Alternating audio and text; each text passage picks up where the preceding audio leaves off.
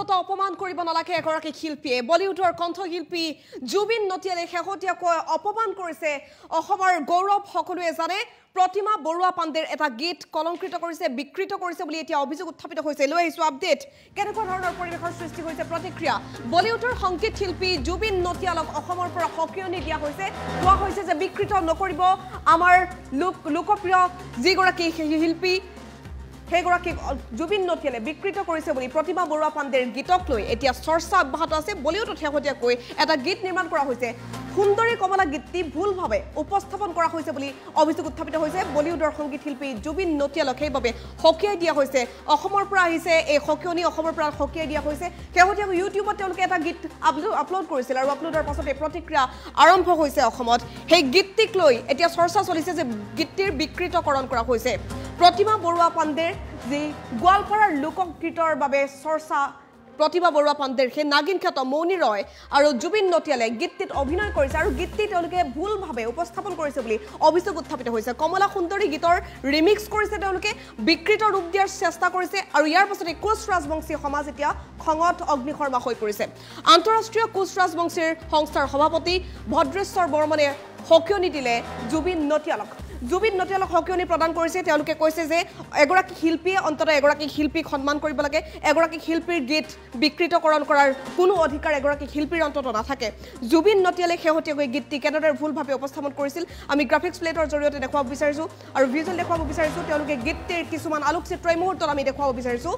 চাওক জুবিন নটিয়ালে শেহতীয়াকৈ গীতটি নিৰ্মাণ কৰিছে।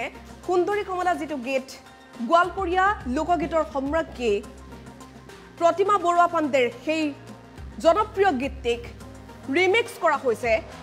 নাগিন খ্যাত মৌনী ৰয় আৰু জুবিন নটিয়ালক একেলগে অভিনয় কৰা দেখিবলৈ পোৱা গৈছে গীতটিত। আৰু এই গীতটি তেওঁলোকে যথেষ্ট ভুলভাৱে উপস্থাপন কৰিছে আৰু ইয়াৰ পাছতে খঙত অগ্নিশৰ্মা হৈ পৰিছে প্ৰতিগৰাকী অসমীয়া। বিশেষকৈ গোৱালপাৰাত এতিয়া যথেষ্ট প্ৰতিক্ৰিয়াৰ সৃষ্টি হৈছে। কোচ ৰাজবংশী সমাজ খঙত অগ্নি অগ্নিশৰ্মা হৈ পৰিছে। ব্যৱস্থা গ্ৰহণৰ আহ্বান জনাইছে অসম চৰকাৰলৈ। সকিয়নি প্ৰদান কৰিছে তেওঁলোকে। বলিউডৰ সংগীত শিল্পী জুবিন নটিয়ালক অসমৰ পৰা এতিয়া সকিয়নি দিয়া হৈছে যে অসমৰ গীত আমাৰ অসমৰ গৌৰৱ এটা গীত এনেদৰে ভুলভাৱে উপস্থাপন কৰিব নোৱাৰিব। জুবিন নটিয়ালে বিকৃত কৰিছে প্ৰতিমা বৰুৱা পাণ্ডেৰ। সেই গীতটি সুন্দৰী কমলা গীতটি ভুলভাৱে উপস্থাপন কৰা হৈছে বলিউডৰ সংগীত শিল্পী জুবিন নটিয়ালে। শেহতীয়াকৈ ইউটিউবত গীতটিৰ ভিডিঅ' আপলোড কৰাৰ পাছতেই প্ৰতিক্ৰিয়া আৰম্ভ হৈছে অসমত। কোচ ৰাজবংশী সংস্থাৰ সভাপতি ভদ্ৰেশ্বৰ বৰ্মনে ইয়াৰ পাছতে সকিয়নি প্ৰদান কৰিছে জুবিন নটিয়ালক। লগতে অসম চৰকাৰলৈ আহ্বান জনাইছে যে এই ক্ষেত্ৰত যাতে বিহিত ব্যৱস্থা সোনকালে গ্ৰহণ কৰে। তেওঁলোকে সুন্দৰী কমলা গানটি বহুত ভুলভাৱে উপস্থাপন কৰা বুলি অভিযোগ উত্থাপিত হৈছে। লিৰিক্সৰ ক্ষেত্ৰতো যথেষ্ট খেলি মেলি কৰিছে। গীতটিত যিবোৰ শব্দ আছিল সকলোবোৰ ভুলভাৱে তেওঁলোকে বিকৃতকৰণ কৰি উপস্থাপন কৰাৰ চেষ্টা কৰিছে বুলি কোৱা হৈছে। দোতাৰা আচলতে যেনেকৈ তেওঁলোকে উপস্থাপন কৰিব লাগে তাত ৰিমিক্স কৰা হৈছে। গতিকে গোৱালপাৰাৰ যি লোকগীত সেই লোকগীতৰ যি স্বকীয়তা সেই স্বকীয়তাক স্বকীয়ভাৱে থাকিবলৈ দিব লাগে। সেয়া ৰিমিক্স কৰি ভুলভাৱে উপস্থাপন কৰাক লৈ এতিয়া যথেষ্ট খং উঠিছে। কোচ ৰাজবংশী সমাজৰ খং উঠিছে। গোৱালপাৰাবাসীৰ খং উঠিছে। অসমবাসীৰ। শেহতীয়াকৈ ইউটিউবত এই গীতটি আপলোড কৰাৰ পাছতে প্ৰতিক্ৰিয়া অসমত আৰম্ভ হৈছে। নাগিন খ্যাত মণিৰক দেখিবলৈ পোৱা গৈছে এই গীতটিত অভিনয় কৰা। জুবিন নটিয়ালে নিজেও অভিনয় কৰিছে এই গীতটিত আৰু কমলা সুন্দৰী গীতৰ ৰিমিক্স কৰি গীতটি সম্পূৰ্ণৰূপে বিকৃত ৰূপ দিয়াত এতিয়া কোচ ৰাজবংশী সমাজ অগ্নিশৰ্মা হৈ পৰিছে খঙত। কোচ ৰাজবংশীৰ সংস্থাৰ সভাপতি ভদ্ৰেশ্বৰ বৰ্মনীয়ে জুবিন নটিয়ালক সকিয়নি প্ৰদান কৰিছে এটা ভিডিঅ' বাৰ্তাৰ জৰিয়তে। লগতে অসম চৰকাৰক ব্যৱস্থা গ্ৰহণ কৰিবৰ বাবে আহ্বান জনাইছে। ভদ্ৰেশ্বৰ বৰ্মনে কি ক'লে সংবাদ মাধ্যমৰ সন্মুখত শুনাব বিচাৰিছোঁ।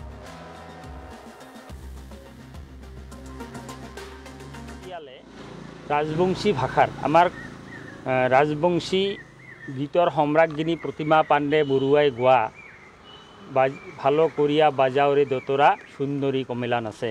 সেই গানটো তেওঁ ডি চিৰিজত ডি চিৰিজত মুকলি কৰিছে। কিন্তু তেওঁ তাতে কিছু শব্দ বিকৃতিকৰণ কৰিছে। আমি কৈছোঁ যে ভাষাৰ কলাৰ যদিও আক- আকৃতি নাথাকে কলাৰ যদিও কোনো সুৰ নাথাকে কিন্তু শব্দবিলাক আৰু তেওঁৰ পোচাক পৰিচ্ছন্নবিলাক সংযত হ'ব লাগে মাৰ্জিত হ'ব লাগে। কিন্তু তেওঁ যিটো গান গালে যি ভাষা প্ৰয়োগ কৰিলে সেই ভাষাই কোচ ৰাজবংশীসকলৰ যি গীত তাত কিছু বিকৃতি কৰা দেখা গৈছে। গতিকে আমি জুবিন নটলীয়াক এইকাৰণে সকীয়াই দিব বিচাৰিছোঁ যে আপুনি গান গাওক আমাৰ গান বিশ্ব দৰবাৰত আপুনি লৈ যাওক বহল প্ৰচাৰ কৰক আমাৰ কোনো আপত্তি নাই। যদিহে আপুনি ভাষা বা শব্দ বুজি নাপায় আমাৰ বুদ্ধিজীৱী বা আমাৰ যিবিলাক গায়ক আছে তেওঁলোকৰ পৰা এই ভাষাবিলাক তেওঁ বুজি লওক। অন্যথা তেওঁ যদি ভাষা বিকৃত কৰে জাতিক অপমান কৰে তেতিয়া কিন্তু আমি আন্তঃৰাষ্ট্ৰীয় কোচ ৰাজবংশী সংস্থাই বহি নাথাকোঁ। গতিকে আমি এটাই অনুৰোধ কৰিছোঁ তেওঁক যে আপুনি আমাৰ গান যিমান দূৰ পাৰে প্ৰচাৰ কৰক লৈ যাওক। কিন্তু ভাষা সংযত কৰি গানক বিকৃত নকৰি বানক সুৰ বেলেগ দিয়ক। কিন্তু শব্দৰ বিকৃতি নঘটাব। তেওঁ কিছু শব্দৰ বিকৃতি ঘটা দেখা গৈছে কিছু ওলট পালট কৰিছে যিয়ে আমাৰ গানটোৰ মৰ্যাদাই ধ্বংস কৰি দিছে। অসম চৰকাৰৰ এটা সাংস্কৃতিক বিভাগ আছে চাওক এতিয়া অসম চৰকাৰ বা ভাৰত চৰকাৰ যিটো সাংস্কৃতিক বিভাগ আছে তেওঁলোকৰ দায়িত্ব। আমি ক'বলগীয়া নহয়। তেওঁলোকৰ দায়িত্ব আছে যে অসমৰ যিটো প্ৰতিমা পাণ্ডে পদ্মশ্ৰী প্ৰতিভা পাণ্ডে বৰুৱাই গোৱা এটা গীতক যেতিয়া বিকৃতিকৰণ কৰিছে অসম চৰকাৰৰ নিজা দায়িত্ব তেওঁলোকে নিজাই ইনিচিয়েটিভ ল'ব লাগিছিল। আমি কোৱাৰ যুক্তিয়ে নাহে। কিন্তু দেখা যায় ইয়াৰ আগতো বিহু গানকো বিকৃতি কৰিলে।